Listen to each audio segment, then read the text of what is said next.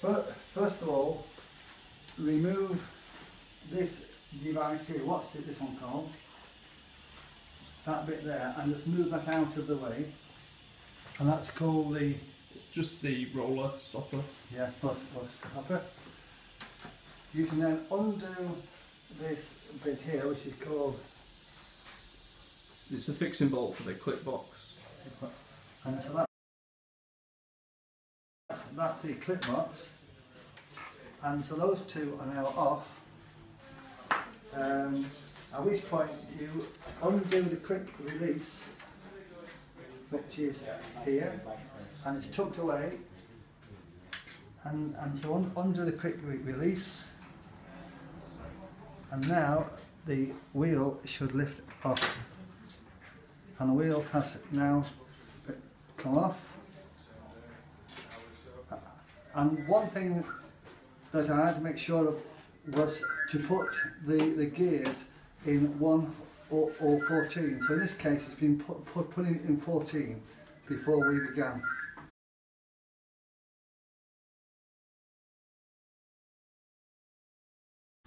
Now then, uh, when we put it back, we ensure that the belt uh, is is aligned and on both uh, ends, and then we can then um, and there's, there's a- a piece here. Uh, what's what's this piece here? Uh, this this has to go back inside there, uh, uh, and we might have to pull this part of it. This is where it becomes a bit uh, and difficult, isn't it? Passing into there and this one in the air and pulling the frame apart. There you go.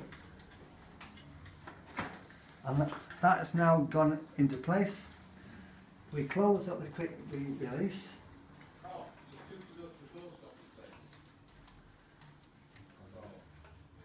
And put the quick release in a place where it, it, it won't get in the way.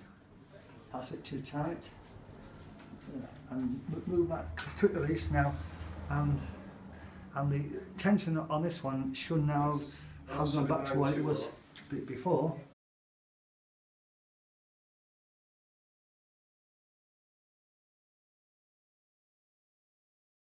Five three oh. What we now have to do is to fit back the, this box. The box is then aligned on here. It's now back, and, and unfortunately it's gone back straight away.